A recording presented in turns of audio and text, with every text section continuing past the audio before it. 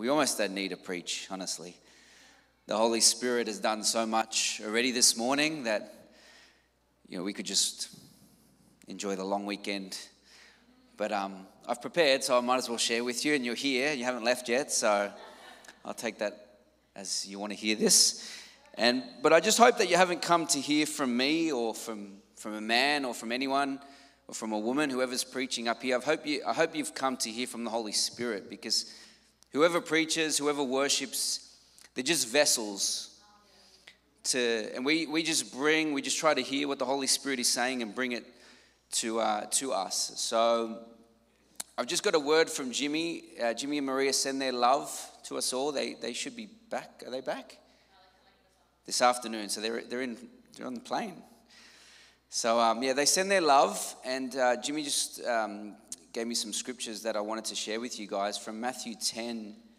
It says, And when he had called his 12 disciples to him, he gave them power over unclean spirits to cast them out and to heal all kinds of sicknesses, sickness and all kinds of disease. And uh, it goes on to continue in verse 7. It says, And as you go, preach, saying, The kingdom of heaven is at hand. Heal the sick, cleanse the lepers raise the dead, cast out demons. Freely you have received, freely give. And this is the working of the Holy Spirit. And uh, if, if anyone is in need of any of these things or anything else, maybe we could give some time later just for the Holy Spirit just to continue the work that He's already started to do amongst us this morning. And, um, you know, the Holy Spirit is a very vast topic. I could be here for weeks and weeks and weeks and weeks. But um, I know that we, you know, it's, it's Sunday and we, we've got a game on tonight. Hopefully, Parra can get it done for all the Parra supporters. Um, so I'm not going to. I'm not going to go too deep into it, but just some of the things that I felt uh, the Holy Spirit was highlighting that He wanted to share um, with us today. So, what is the Holy Spirit? Um, we'll start there because that's always a good place to start. The Holy Spirit is, is is the person of God in spirit form. The best way I've heard it explained is that God is, is, is obviously triune. He has God the Father, He has the Son, Jesus, and the Holy Spirit. They're all forms of God, but it's like water, ice, and steam. They all, they all form, they're all from H2O, but different forms of that substance. So the Holy Spirit can be felt we all have different manifestations of the Holy Spirit, how He touches each, each of us. There's not a certain way that we experience the touching of the Holy Spirit. He can be lied to. In the book of Acts, um, I think it's Ananias and Sapphira, they didn't lie to the, the apostles, they lied to the Holy Spirit. He can be grieved. We can grieve the Holy Spirit. He can be blasphemed as well. When it talks about the unforgivable sin, it's talking about blaspheming the Holy Spirit. What's that, what, what that means is that when you reject the saving grace of the Holy Spirit, then that's the unforgivable sin. There's no other way for you to be saved except through the Holy Spirit and the revelation of what Jesus did on the cross. He has his own language. So the Bible talks about the, the, the heavenly language that our mind is unfruitful when we pray, but we we have a direct, direct access to God. He's a witness, he can be resisted, he speaks to us. And this one I like, he can even transport people. Do you know that? He transported Philip from one location to another location. I haven't seen that in my day, but I think it'd be pretty cool. It'd be cheaper than an Uber. And he prophesies. This is just a few things that he does. He does many more things, but like I said, I'd be here for weeks if I, uh, if I went through everything. Um, in, in the book of Acts, there was a guy, I think it's Acts, a guy called Agabus, who prophesied concerning some things. And Adriana, my wife, she has very prophetic dreams. The Holy Spirit speaks to her very prophetically through dreams. She gives, he, gives her things about people that she tells those people, and they just freak out how accurate she is. But it's not her, it's just the Holy Spirit, the way He uses her. And he has character traits and attributes of who he is. There's fruits of the Spirit, which we're going to go into later on. And, you know, the Holy Spirit has always existed. Um, it says in the, in the book of Genesis, then God said, Let us make man in our own image. It says, in our own image. So who's, who's, who, who, when it says, let us, who's God referring to? Jesus and the Holy Spirit and God, they're all there. Let us. It's, it's a plural there. It says, Let us make man in our image according to our likeness. It says, So he created man in his own image. We're all created in the image of God. In his, in, in the image in his image in the image of god he created them. Male and female he created them. Then god then god blessed them and god said to them be fruitful and multiply. You know the enemy will do everything that he can to distract people from knowing that they're made in the image of god. That's one of his main tactics. Because if we get a grasp that we're made in the image of God, then our life will never be the same. We'll have an accurate picture of who we actually are. But the devil and the enemy always tries to distort the image of a person. Because if he can get them far removed from what God has designed them to be, then he knows the battle is half won. So, in the book of Genesis, we obviously know the story about the, the fall of man. God created Adam out of the dust of the earth. And Eve came from Adam, and they sinned. We know that. And in Genesis uh, chapter 3, verse 17 to 19, says, Then Adam he, then to Adam he said, Because you have heeded the voice of your wife, and have eaten from the tree of which I commanded you, saying, You shall not eat of it, cursed is the ground for your sake. In toil you shall eat of it all the days of your life. Both thorns and thistles it shall bring forth for you and you shall eat into the herb, you shall eat the herb of the field. In the sweat of your face you shall eat bread till you return to the ground. For out of it you were taken, for dust you are, and to dust you shall return. And then in verse 24, 24 it goes on to say, So he drove out the man, and he placed cherubim at the east of the Garden of Eden, and a flaming sword which turned every way to guard the, the way to the tree of life. Now, the cherubim are those little chubby babies, those little angelic chubby babies. I don't think this probably is one of those chubby babies. I think this is probably a little bit different. He's guarding, he's, he's got a flaming sword which turns every which way. But anyway, I, digress. Um, but ever since that moment of the fall of man, the point I'm trying to make is that ever since that moment, mankind has been grinding through life. We've been striving through this thing that we call life. We've been kind of searching to get our way back to where we once were, to what we were designed for, and that's fellowship with God. So we've got this kind of daily grind that we go through. You know, we wake up, we go to work, we come home, we go to sleep, we wake up, we go to work, we come home, we go to sleep. And it can just, sometimes life can just beat us down.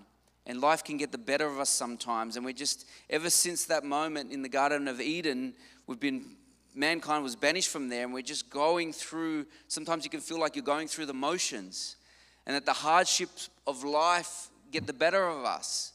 You know, uh, my son Isaiah was in hospital this week. And just walking through those wards and looking at the kids in those hospitals, it's just, life can be yuck sometimes, eh? Life can be really sad sometimes, and I just, but perspective helps, doesn't it? Perspective helps in knowing that we're just in transit in this life.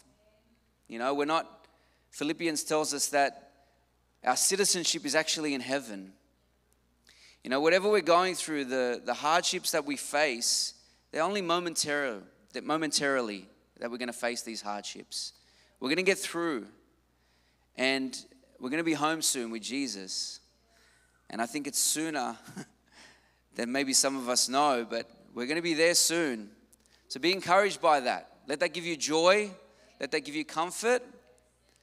That even through this uh, transit period that we're going through, that we're going to be home soon. You know, and being in transit isn't always fun. We flew to Queensland recently, and you know, sometimes there's delays, maybe delays to answered prayers maybe cancellation of answered prayers. The prayers don't, don't, don't come, don't happen.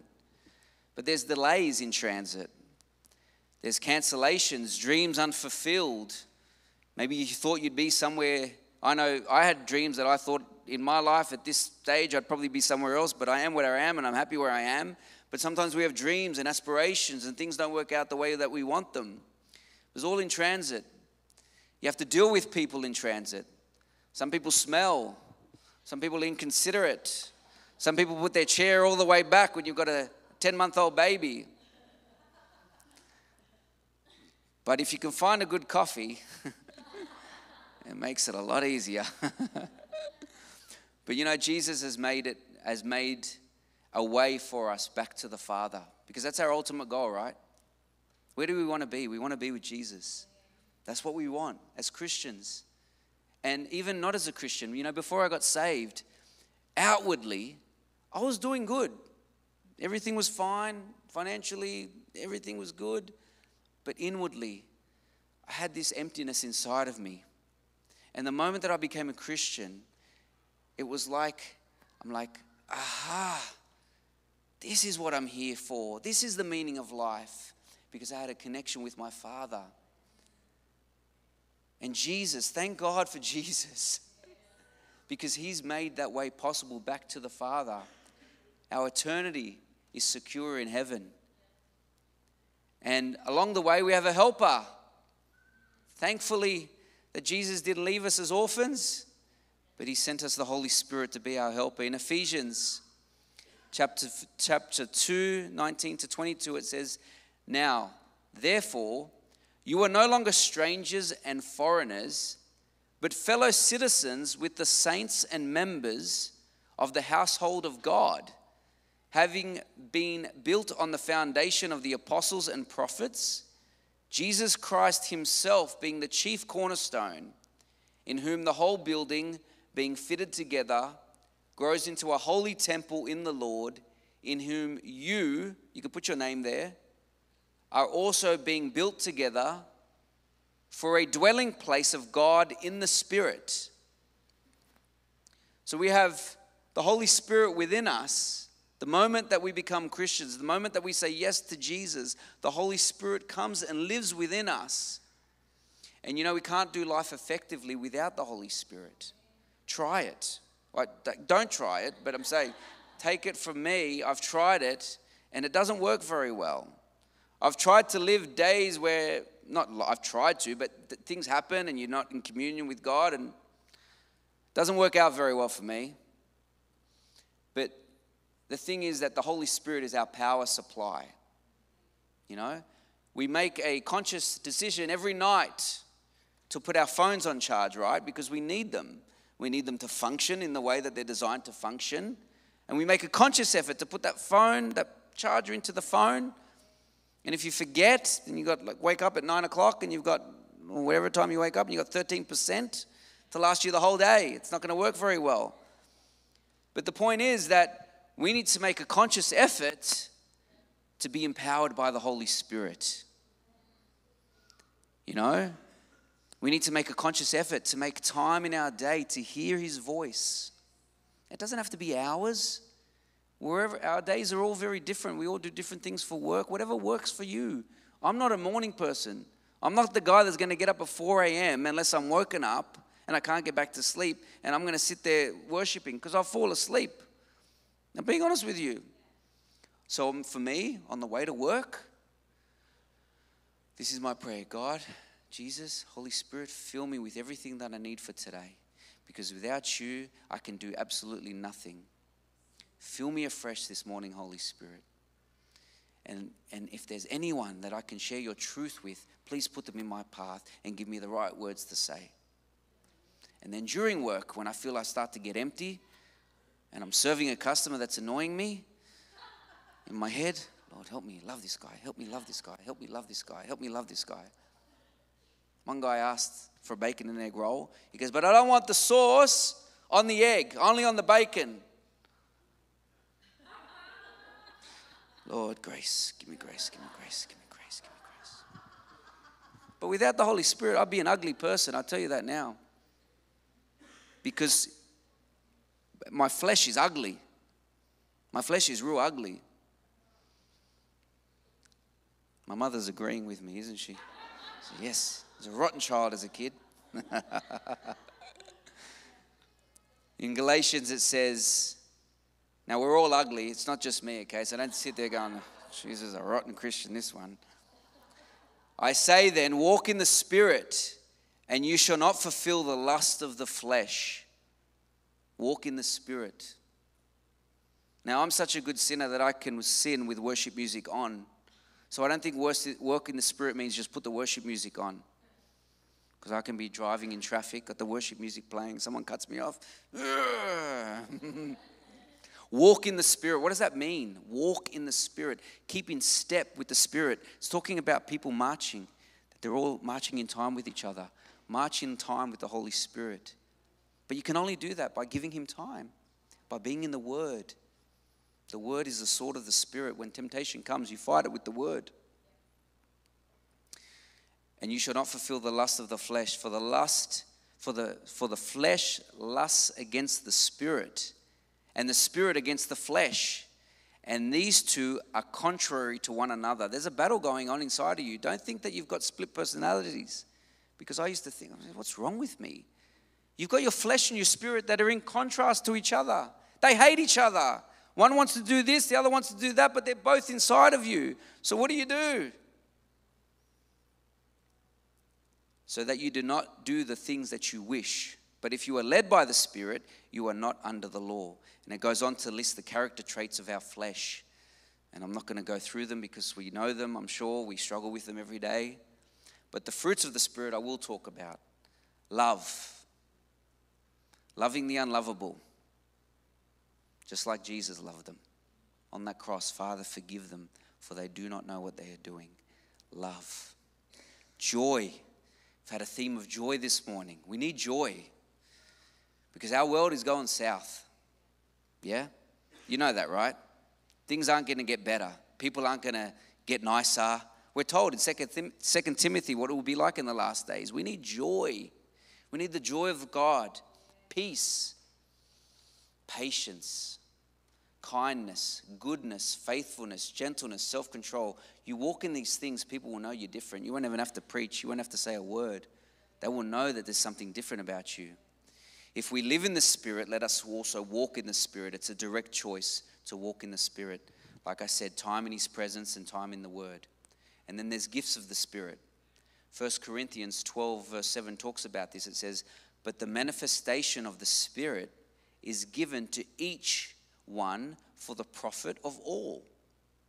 So there's gifts of the Holy Spirit that are given to each of us, but profit all of us. For to one is given the word of wisdom through the Spirit, to another the word of knowledge through the same Spirit, to another faith by the same Spirit, to another gifts of healings by the same Spirit, to another the working of miracles, to another prophecy, to another discerning of spirits, to another different kinds of tongues, to another interpretation of tongues. But one and the same Spirit works all these things, distributing to each one individually as He wills. So just be content with the gifting that He's given you because He wills it. You may not think that you're qualified to do that. Like me, I don't really think I'm qualified to preach, to be honest with you. But thank you. thank you, Dennis. But I'm saying, as, as, as, humans, you know, we doubt ourselves and we think, why would they want to listen to me for? I don't really have that much to say. Or you might be up here worshiping and you think, well, I'm not really, you know, this is, no, no, no but it's He that gives the giftings. It's Him that does it. I think it's actually better when we think that we're less qualified. I think God can use us more then. Yeah, humility, that's right. And then Ephesians 4, verse 11, it talks about, uh, and, he, and he himself, this is talking about Jesus now, gave some to be apostles, but it's Jesus through the Holy Spirit. Apostles, some prophets, some evangelists, some pastors and teachers. And this is all for the equipping of the saints, for the work of the ministry for the edifying of the body of Christ. None of us are better than any of us. No gifting is better than any other gifting. We just operate differently because it's all for the edification of Jesus. It's all about to show everyone Jesus. It's all for Him. And if it's not for Him, well, then what are you doing? There's no point. It's fruitless. It's of, of eternal significance, insignificance eternally. And our work's going to be tested one day. It's going to be tested. God's going to, Jesus is going to stand, we're going to stand before Jesus and say, okay, Paul, when you were preaching, why were you preaching? Were you preaching because you like the sound of your voice? Or were you preaching because you think people are, you, you want people to think good of you? Why do I preach? I preach because I love the word and I love just edifying Jesus through the word. And then there's different roles of the Holy Spirit in Scripture as well. Some of these surprised me when I read them. Like, wow. But in Acts chapter 16, verses 6 to 7, we're talking about different roles of the Holy Spirit. It says, Now when they had gone through Phrygia and the region of Galatia, they were forbidden by the Holy Spirit to preach the word in Asia. They were forbidden by the Holy I had to reread that. I said, What? They were forbidden by the Holy Spirit to preach the word in Asia. How can you be forbidden to preach the, the, the word? Doesn't God want us to preach the word? After they had come to Mysia, they tried to go to Bithynia, but the Spirit did not permit them. What's going on here? Because then we read in Acts chapter 18, verse 5, it says, When Silas and Timothy had come from Macedonia, Paul was compelled by the Spirit and testified to the Jews that Jesus is the Christ. So sometimes the Holy Spirit works in us to preach, sometimes we need to shut up and not say anything. Just love, maybe? Just listen. Sometimes we're really quick to talk. Sometimes people just need us to listen. There was a, I was on set the other day, and um, there was this guy there that he was talking about. Uh, he, he's read the Bible, and he's no, he's listened to the Bible, and he's listened to the Quran, and he goes, "Oh, it's, it's kind of all just saying the same thing." And I'm there, and he wasn't talking directly to me, but he was talking kind of next to me. And I'm like, I probably should say something right now and tell him that it's not actually saying the same thing, that they're completely different, but and that Jesus, anyway, he wasn't talking about Jesus, he's just, you know, going on. And I'm there, but I didn't feel in that moment to say anything. So I just sat there and just heard what he was saying. The next day, I'm reading my book. I'm, re- I'm reading a book on the book of Revelation. And he goes, Hey, what are you reading? I said, It's a book about the book of Revelation. He goes, Oh, wow. I guess that's pretty intense. I said, Yeah, man. It goes, Pretty cool. I said, You know, some of these things that the, the book of Revelation talk about, I said, are starting to happen now, is seeing the setup of these things. I go, So you know what that tells you, Luke? I go, That tells you that the Bible is 100% accurate. I said, Because we're starting to see the things that the, this, this book talks about and many other things that the Bible talks about already coming to pass. And I said, I said to him, I go, I find it harder to believe in evolution than to have faith in God. He said, Oh, yeah, why's that? I said, Because I said, I go, Do you know that the dust, that, that the chemical substance found in humans is the same that's found in soil? And he said, Really? I said, Yes. I said, You know how God made man? I go, Out of the soil. I go, So the same stuff that's in soil is in humans. I go, How did that happen? I go, That's incredible. And then I said to him, I said, um, What did I say to him? I said, And this whole idea that everything just appeared, I said, I, I, I can't fathom that. I said, When you see a picture, I said, What does that tell you? And he goes, that someone painted the picture? I said, Exactly. Okay, so when you see creation, and I said, You see a beautiful sunset, and you see this, and you see that, I said, That tells you that there's a creator. And he's just listening. He's going, Wow, wow. So the day before, he really didn't need me. I guess the Holy Spirit wasn't leading me to tell him what he was saying wasn't true. But then the next day, I had an opportunity to share with what I shared with him. And I guess that impacted him more than what I was thinking in my mind I should have said to him the day before. And sometimes we don't really know, you know, in our, in our earthly thinking. And sometimes it doesn't make sense to us. But we just got to trust that the Holy Spirit knows what's needed and the timing that it's needed in. And that's what we see here with these scriptures. What else does the Holy Spirit do? Different roles. He convicts and saves. You know, we don't do the saving.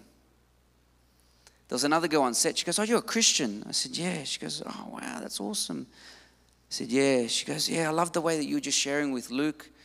She goes, I, I feel like I have to share with everybody. I said, Well, you don't.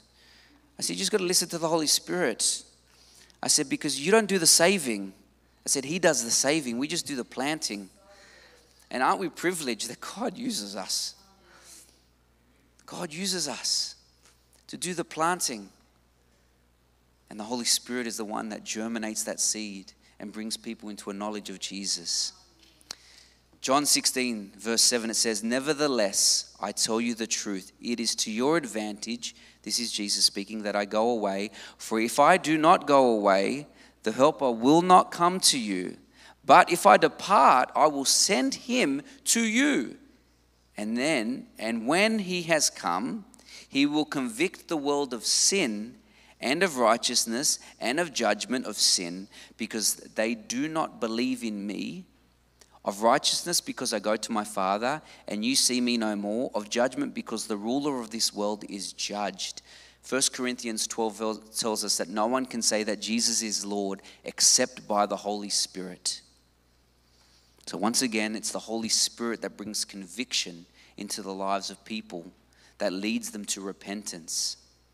He convicts the world of sin, righteousness, and judgment. Normally, conviction is followed by judgment. So, in a court of law, normally you're convicted and then you get a judgment. But when the Holy Spirit is doing a working in you, there's the conviction that takes place. The moment that you realize that I'm a sinner and I need a Savior, that's the Holy Spirit that brings you to that revelation. It's called grace through the Holy Spirit. So, the moment that you realize that, that's the working of the Holy Spirit and the revelation of righteousness of what Jesus did on the cross takes care of the judgment. It satisfies the judgment of God because when He sees you now, He sees Jesus. He doesn't see your sin anymore. So stop being so hard on yourself. When you sin, you've missed the mark. That's okay. Ask for forgiveness and move on. Stop beating yourself over the head. And I know you do it because I do it. Sometimes I think, how can you get up and preach after what you've just said to that guy or done this to that guy? I make myself sound like a bad person, don't I? but being honest, you know, sometimes we think very low of ourselves. We forget that when God looks at you, He sees Jesus. He sees the blood of Jesus, perfect, sinless. Come, my son, my daughter, come, have fellowship with me. Satan doesn't want you to know that. You're made in the image of God. Also, one of the roles of the Holy Spirit is he restrains evil. But he restrains evil through the church. Yeah?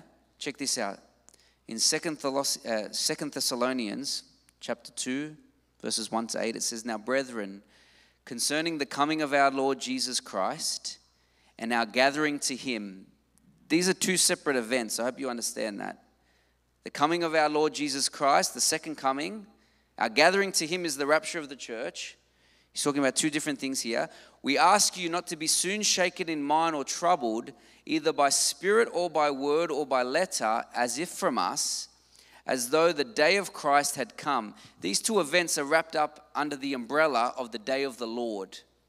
So when we understand scripture, we see the day of the Lord, it's talking about a season of events that happen. And it goes on to say, Let no one deceive you by, by any means, for that day will not come unless the falling away comes first. So before Jesus comes back, there's going to be a falling away, a defection of truth from the church. We're told about this. The falling away comes first, and the man of sin is revealed, the Antichrist, the son of perdition, who opposes and exalts himself above all that is called God or all that is worshipped, so that he sits as God in the temple of God, showing himself that he is God. Do you not remember that when I was with you, I was still with you, I told you these things? And now you know what is restraining, that he may be revealed in his own time. For the mystery of lawlessness is already at work. Only he who now restrains will do so until he is taken out of the way. And then the lawless one will be revealed, whom the Lord will consume with the breath of his mouth and destroy with the brightness of his coming. People ask me all the time, "Oh, do you think you know? Do you think that person's the Antichrist? Do you think it's that?" I'm not going to be here. I'm not going to be here because it just told me that before Jesus comes back, the church will be removed because it's saying the restraint is going to be removed here. And we got to understand that the Holy Spirit is not the one that's being removed. It's the Holy Spirit, the working of the Holy Spirit within the church that is what's going to be removed for lawlessness to be complete, for lawlessness to completely abound on the earth. But at the moment, we are the church. We have the Holy Spirit as the church. We are the light of the world. Jesus is the light of the world, but he also calls us the light of the world. We are the voice of truth in this world. When society tells you that there's 78 genders, God tells us that there's male and there's female. When the world tells you that marriage is between whoever it wants to be, the Bible tells us we're the voice of truth. And many other things, not just those things, but many other things. We're the voice of truth. So, the Holy Spirit through the church is restraining evil. And that should bring us encouragement that we're making a difference. But it also should give us encouragement that at any moment, Jesus can come back for us to take us to be with Him. So be encouraged because we're almost there. So finish strong. Make a conscious effort to spend time with the Holy Spirit in the Word because that's when you're most going to be you're going to be most effective. And if there's people watching or people here that don't know Jesus, that you haven't had that moment of realization that you're a sinner and that you need a savior, I ask you to pray right now for the Holy Spirit to reveal Jesus to you. And if there's some of us here that need just a fresh touch from the Holy Spirit, or just some, some time to be filled, to be encouraged, then you can either do it in your seat or maybe we can get the guys back up and we can make time for that. But I just want to close in prayer. Yeah? Thank you, Lord. Thank you, Father, that you've not left us alone, but we have your Holy Spirit to be with us.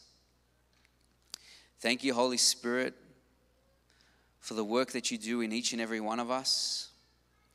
We ask that you just fall on us afresh this morning, Lord. Whatever it is that we need, whatever it is, Lord, that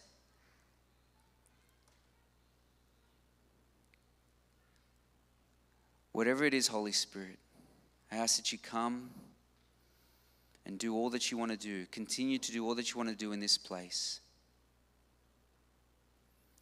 Thank you, Lord. Thank you, Jesus. Thank you for your joy, Lord.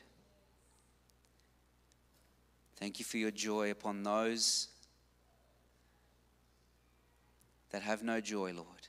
Those that are struggling, those that are going through the motions of life, where life has beaten them down, Lord. They're toiling through life. I pray for your joy upon them right now, Lord.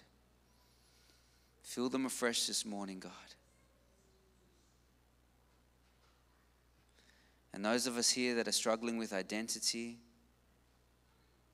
struggling with our image, we're made in the image of God, Lord, I pray, Holy Spirit, that you come and reveal who we are in Christ, who you say we are, that we're more than conquerors. And I thank you as a church corporately, Lord, we will continue to shine your light into this dark world, that we will continue to show the love of Jesus, that we will continue with your Holy Spirit to restrain the evil. Thank you, Lord. Thank you, Jesus. Just come. Anyone? Anyone that uh, needs prayer, just invite you to come.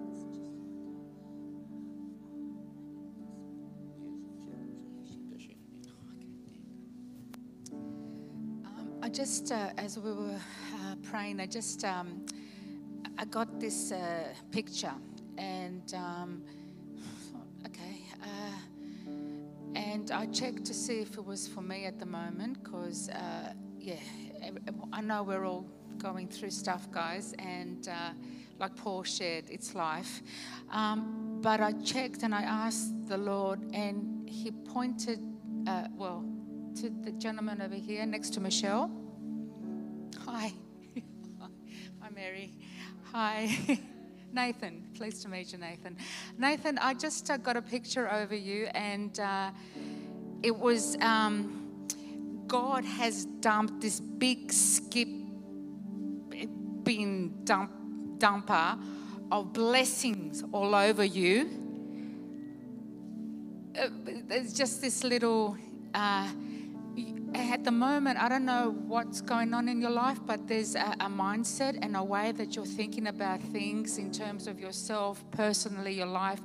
And I just feel that it's it's um it's an invisible glass that's uh, not allowing at the moment to to penetrate all this uh, blessing. It's there. It's there. I don't know. So I could be off. Um, I, uh, oh Thank you, Lord. Thank you. So it's God for you, Nathan.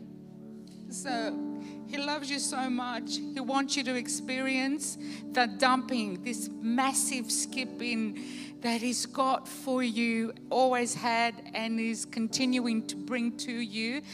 Uh, yeah, so something's just uh, keeping that at the at, at bay at the moment. But once you click to it, man, just look out. Yeah.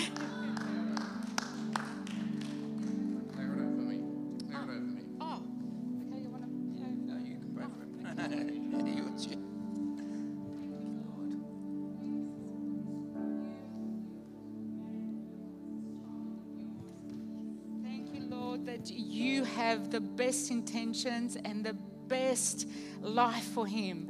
And I know, Lord, that you're working mightily on his behalf and you are changing what needs to change in all of us and in Nathan. Mindset, um, reveal your truth to, to Nathan. Reveal your ways. You reveal your life. You are the way, the truth, and the life.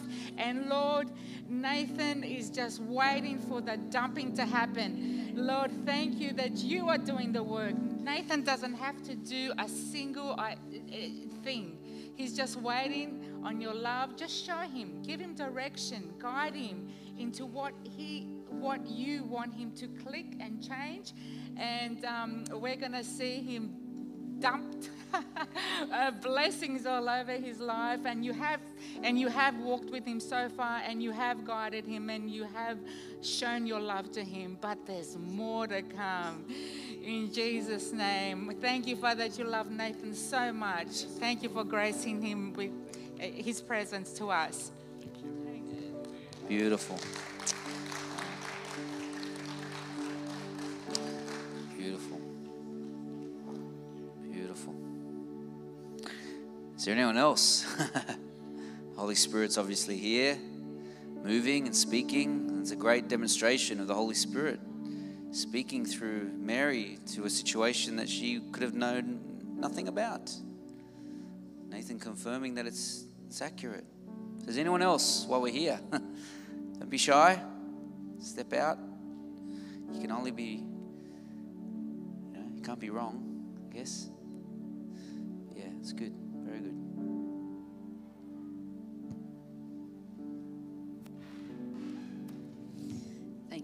That was that was awesome. It's just such a great reminder. Thank you. Yeah.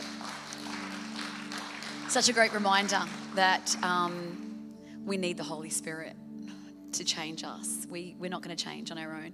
We need the Holy Spirit, and um, and I love that. It's about our identity. It's about knowing who we are in Christ. So um, as always, the front is open. Please don't be shy to come down for prayer. Please don't be shy because we can't do this life alone. You know, we do it. That's why we come to a church. We come to be with people and to glean from people and to have others stand with us. So, front's always going to be open. We're always going to welcome people down the front. But um, be blessed today. Um, thank you for coming to church. I really do pray that this week Holy Spirit reveals to you um, what He needs to reveal for you for your situation and, and to experience His joy uh, in His life. So be blessed have a great rest of your weekend and, and public holiday. Thank you.